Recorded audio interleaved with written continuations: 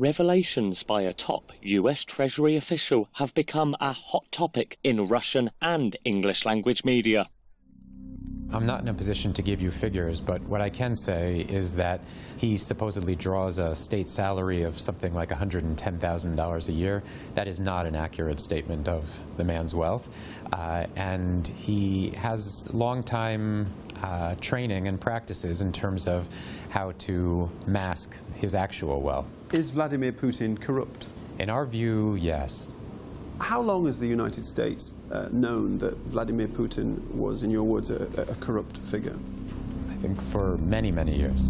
We've seen him enriching his friends, his close allies, and marginalizing those who he doesn't view as friends, uh, using state assets, whether that's Russia's energy wealth, whether it's other uh, state contracts. He directs those to whom uh, he believes will serve him and excludes those who don't.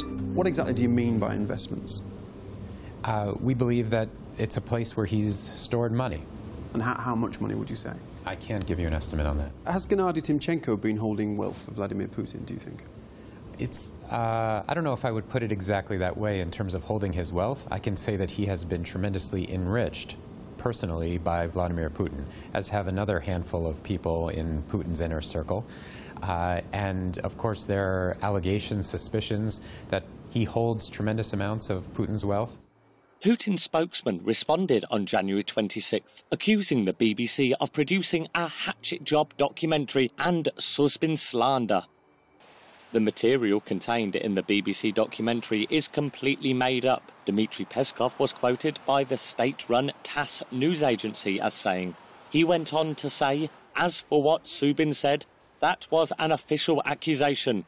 If the US Treasury does not back up the charge with proof, its reputation will suffer.